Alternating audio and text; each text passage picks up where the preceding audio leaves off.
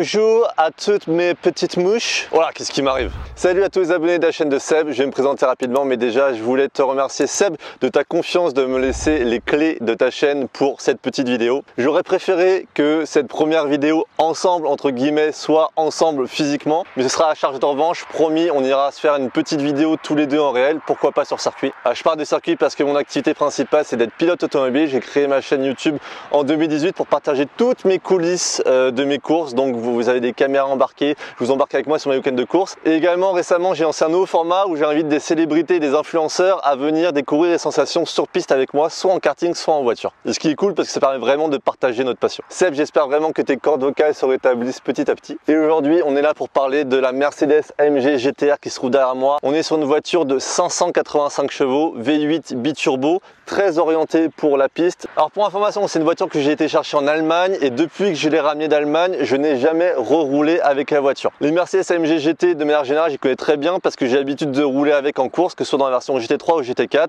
Et j'ai déjà roulé avec cette voiture-là pour faire un chrono sur circuit. Donc je vais pouvoir vraiment vous en parler correctement. On est sur une peinture euh, gris mat toujours sur les AMG GT, ce très très long capot avant. Détail vraiment que j'apprécie énormément, c'est euh, les jantes à bâton entourées du euh, liseré gris alu. Et ça, franchement, je trouve que ça pète sur les voitures. Je suis vraiment très très fan.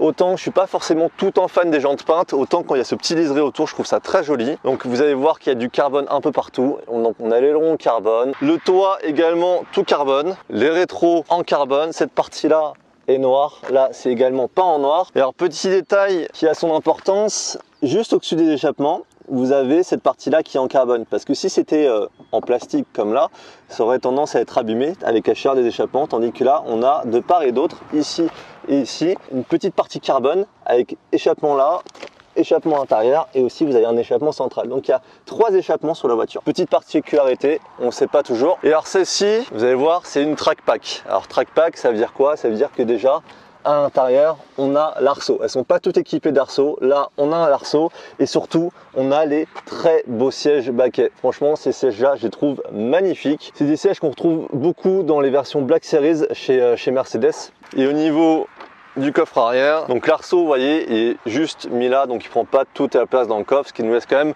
un vrai, euh, un vrai espace pour, pour le coffre, pour mettre son casque, ses affaires de course. Et à l'intérieur, on trouve des inserts carbone, de l'Alcantara, volant en Alcantara, toute la partie basse du tableau de bord qui est en Alcantara. Vous avez e-cuir sur la partie haute de la planche de bord, du carbone à nouveau. Là, le petit logo de la ville d'AMG que je ne prononcerai pas, qui est gravé sur le, sur le cuir. Donc voilà, je vais pas trop m'attarder sur la présentation extérieure parce que c'est pas là où je suis meilleur. Je vous propose de mettre les caméras et on va rouler directement. Il y a un petit rayon de soleil, on va profiter de la voiture. Les gars, c'est le moment de démarrer la voiture. Fait toujours plaisir ce son. On va faire attention pour sortir d'ici. Alors comme je vous disais, je connais bien la voiture parce que c'est cette base-là que je roule en course, en Mercedes AMG GT4 et GT3, donc qui sont vraiment des, voitures de course. Mais la base, le châssis reste le même. Sur la GT4, c'est le même moteur, donc V8 biturbo. Sur la GT3, c'est toujours le moteur de la SLS. En position de conduite, c'est pareil, on, s'y retrouve. Ce qui est bien avec ces baquets là, c'est que ça nous permet vraiment d'être assis assez bas dans la voiture. Moi, j'aime vraiment bien être assis bas. C'est là où tu fais le plus corps avec la voiture. Alors pour vous dire tout de suite, je me fais en suspense, j'adore cette voiture. Je trouve que pour une voiture moderne, elle apporte euh, ce côté très sympa qui est un petit peu radical. Donc on a quand même une voiture qui est orientée piste mais également c'est une voiture qui reste polyvalente et qui reste facile à rouler. C'est-à-dire que si tu veux rouler à faible vitesse comme on est actuellement, en ville, etc., ça reste assez facile de, la manier dans ces conditions-là. Et de la même manière, si tu veux commencer à attaquer, elle met suffisamment confiance pour te permettre d'attaquer assez sereinement. Ce qui est fou, c'est que tu as quand même 585 chevaux. Et 585 chevaux, avant, il y a 15-20 ans, même 10, 15, 20 ans, ça faisait des voitures qui étaient impossibles à rouler réellement. Aujourd'hui, mais avec 585 chevaux, tu as 585 chevaux qui sont exploitables. Alors là, sous ma main, j'ai la petite molette qui me permet de, de changer les modes. Donc là, je suis en mode confort. Je peux mettre en mode sport, sport plus, reste qui est réservé plus pour le, pour circuit et individuel où tu configures un peu comme tu veux. C'est-à-dire que tu peux avoir une direction par exemple euh, soft, tu peux avoir l'échappement qui fait du bruit. Alors il y a aussi un bouton magique ils en ont beaucoup communiqué, ces boutons qui se trouvent là, c'est le traction control. Traction control, c'est comme sur la voiture de course, donc c'est comme en GT3, comme en GT4, c'est pour gérer le niveau d'intervention de l'anti-patinage. Et alors pour pouvoir gérer le traction control, il faut se mettre en, en ESP off. Donc pour désactiver l'ESP, c'est pareil, c'est un bouton qui se trouve ici, une pression, je mets en mode sport, une pression longue, je mets en mode TC et là je gère en fait l'intervention. Le moins il y a de cran, le plus il y a d'intervention et le plus on monte l'écran, le moins il y a d'intervention jusqu'à ce qu'on est complètement off. Et c'est vraiment exactement le système de la voiture de course. on est sur des parties un peu plus roulantes ici, très joli. La direction elle est super directe cette voiture. C'est ça qui est Oh là qu'est-ce que c'est bien. C'est ce genre de voiture qui te, qui te met ta banane en, deux secondes. Dans que je vous dis, vous sentez vraiment confiance. La, précision du train avant, tu as quand même tout le poids sur le, sur le train avant avec le moteur. Et j'aime bien les voitures avec cette architecture-là, c'est-à-dire que vu que tu as le poids sur l'avant, c'est des voitures qui se placent super facilement avec l'avant. C'est-à-dire que quand tu leur demandes de, se placer, c'est euh, ça y va, ça rentre, ça s'engage. Alors, le défaut majeur pour moi sur la voiture, ce que je trouve dommage mais qui arrive de plus en plus sur les voitures modernes, c'est que ce n'est plus un moteur atmosphérique. J'aurais adoré qu'ils conservent le moteur 6 3 de, la SLS avec le gros gargouillement de, V8 un peu américain, de glou-glou, etc. Ça donnait vraiment un côté hot-rod à la voiture que, j'adorais. Et donc là, ils l'ont remplacé par un V8 4 sites biturbo donc il chante quand même, hein. on l'entend, mais ça n'a rien à voir avec le moteur atmosphérique. Et c'est vraiment ça qui manque, c'est cette petite part d'âme euh, qu'offrait le moteur euh, de, la SLS que je retrouve dans la version GT3 parce que dans la version GT3 de course ils ont gardé ce moteur de la SLS c'est un, bloc moteur qui est tellement fiable tellement coupleux etc qu'ils se sont dit plutôt que de remettre le moteur euh, de, la série on va garder notre bloc. On sait qu'il fonctionne en course et ça a remporté des courses à travers le monde. On va garder ce bloc là et ça va faire le taf dans, dans la Mercedes AMG GT alors pour information cette voiture c'est une voiture que j'ai été chercher en Allemagne J'en avais fait une vidéo sur, euh, sur YouTube. Et depuis que j'ai ramené d'Allemagne dans des conditions qui étaient vraiment mais catastrophiques, on a eu de l'eau sur tout trajet Allemagne-France, je n'ai pas reroulé avec la voiture. Donc c'est vraiment une exclusivité pour ta chaîne Seb. en sport, on va se mettre en sport plus. Donc déjà la boîte qui rétrograde une vitesse, on entend l'échappement avec qui devient beaucoup plus sonore. Il y a direction beaucoup plus lourde aussi. Et maintenant, on a les petites pétarades à échappement. Il n'y avait pas encore les FAP sur ces générations-là. Là, on est sur une voiture qui est euh, du début de 2019.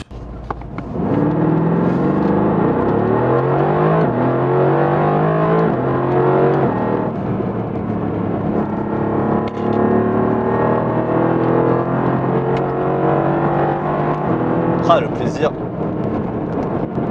Donc là, on se retrouve avec une direction qui est beaucoup plus lourde on a plus d'informations qui, remontent aussi dans le volant du fait que les suspensions également se raffermissent.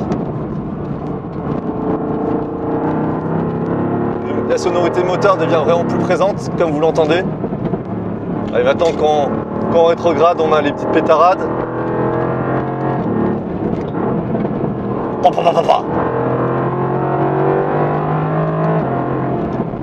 Donc c'est un moteur qui prend 7000 tours en turbo comme ça.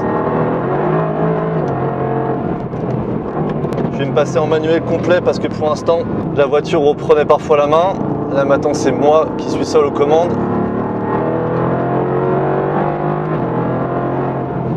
L'efficacité, ce que je vous disais, 585 hein, chevaux, on a 585 chevaux, ça passe au sol.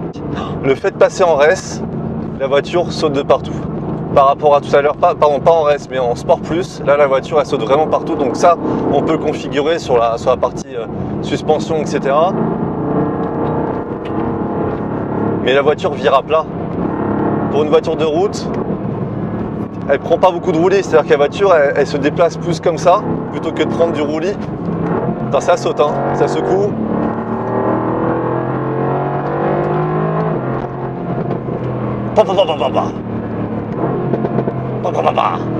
Petit coup de mitraillette que j'aime bien là. On a trouvé notre petit segment de route là on va se refaire celui-là.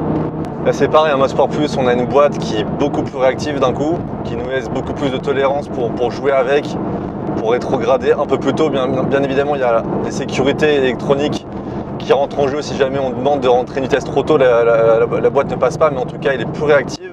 Elle permet de rétrograder plus haut dans les tours qu'en mode normal.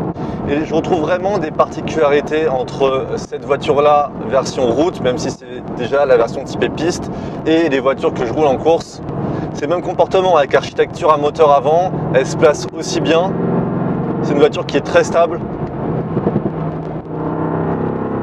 qui est facile à rouler, efficace. ça fait partie des voitures que je préfère à rouler en course, celle-là. Parce qu'elles sont efficaces, elles sont simples à rouler, elles mettent en confiance.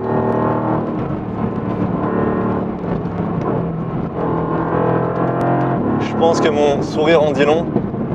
Qu'est-ce que ça fait plaisir de pouvoir continuer à rouler avec ce genre de voiture? Profitons les amis, profitons de ce genre de voiture tant qu'elles existent. L'avenir sera différent, c'est sûr. Donc profitons tant qu'on peut encore rouler avec ce genre de voiture. Voilà, on croise un gros tracteur les gars.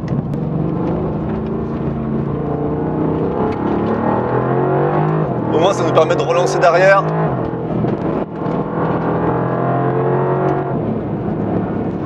Et vraiment les petites déflagrations quand tu lâches la pédale de gaz, ça fait la petite pétarade.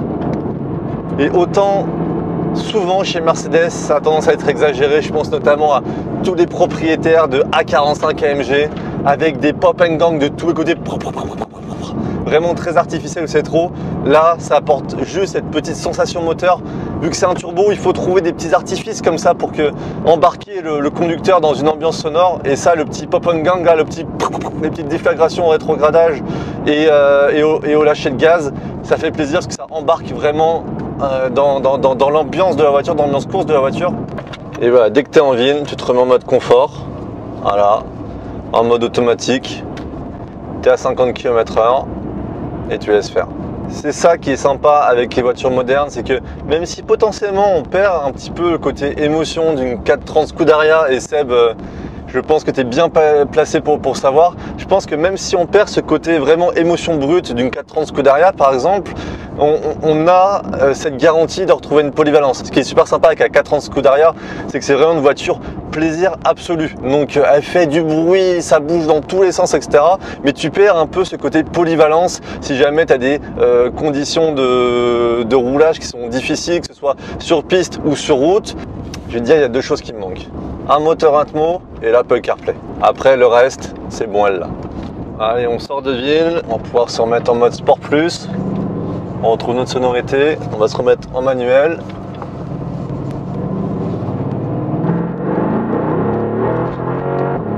Ça bouge un peu d'arrière. Oh les vitesses. On a fait un 0,50 km/h incroyable on s'amuse comme d'habitude sur ce genre de voiture. J'aime bien faire ça, m'amuser avec euh, les palettes, rétrograder plus que nécessaire juste pour avoir ces petits retours à l'échappement, avoir ce petit surplus d'âme. Ça va être mon premier passage sur la route, mais ça a l'air sympa.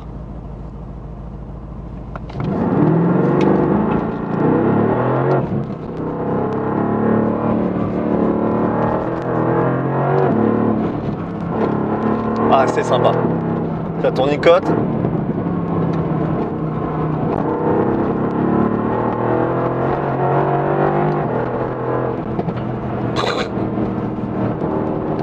Ah c'est trop court mais avec ce genre de voiture on aimerait plus de segments de route comme ça. On aimerait plus que ça. Il y a un goût de trop peu. Ça saute, ça saute, ça trimballe. Ah ça trimballe dans tous les sens. Honnêtement c'est fou, ça trimballe. Mais c'est ça que j'aime bien. C'est ça qui fait qui est cool avec ce genre de voiture. Oh là là, par contre à l'état de la route les gars, il fallait pas arriver trop vite. Il y a de la terre partout. Je pense qu'il y a un tracteur qui a dû rouler avant. Allez, on repart à l'assaut.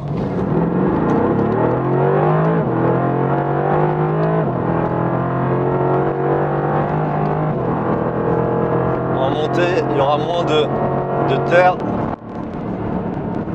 On va faire attention quand même. Ah, ça saute dans tous les sens, faut vraiment s'en occuper. Ah là, ça rebondit. C'est tellement ferme. Ah, c'est là euh, où j'aime l'automobile, c'est quand ça vit comme ça. On est sur des petites routes défoncées. La voiture elle est efficace. Ça freine quand on lui demande. Ça s'inscrit bien. Ah, c'est tellement engageant. Je suis sûr, Seb, je sais pas si tu as roulé déjà cette voiture comme ça, mais je suis sûr que, que tu kifferais de fou. J'ai un sourire sur les lèvres, je te promets qu'il n'est pas forcé. La passion automobile à l'état brut.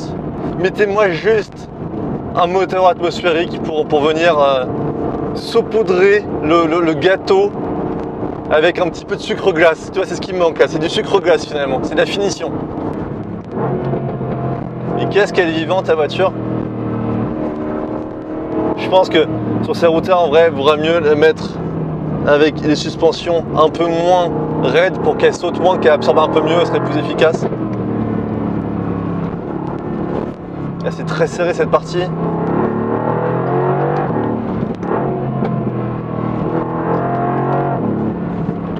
Ah, le bonheur ah, Et quand ça reprend le couple qu'il y a, donc ça c'est l'intérêt du, euh, moteur turbo par exemple par contre, c'est qu'il y, a un couple, c'est que tu demandes de repartir, même si tu un rapport trop haut, tu remets, ça part.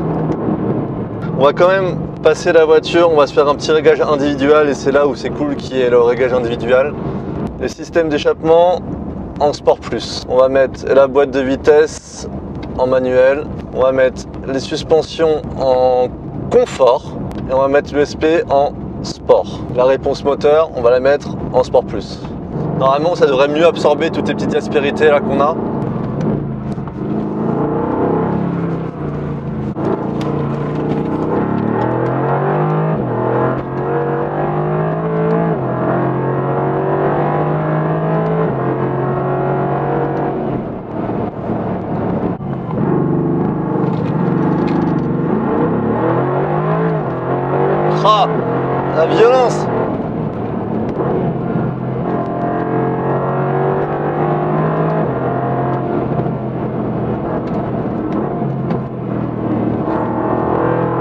ça reprend, ça reprend.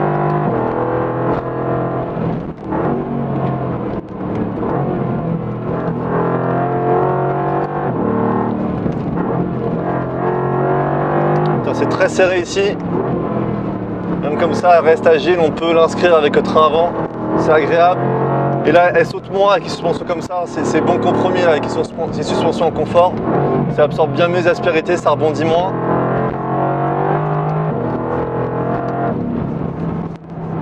Après, ça rebondit moins, mais ça rebondit quand même. Hein. La voiture reste raide, on va pas se mentir. je suis quand même trimballé, là je suis en mode confort sur la suspension et je suis quand même trimballé un peu partout. Heureusement, je suis bien maintenu dans les baquets.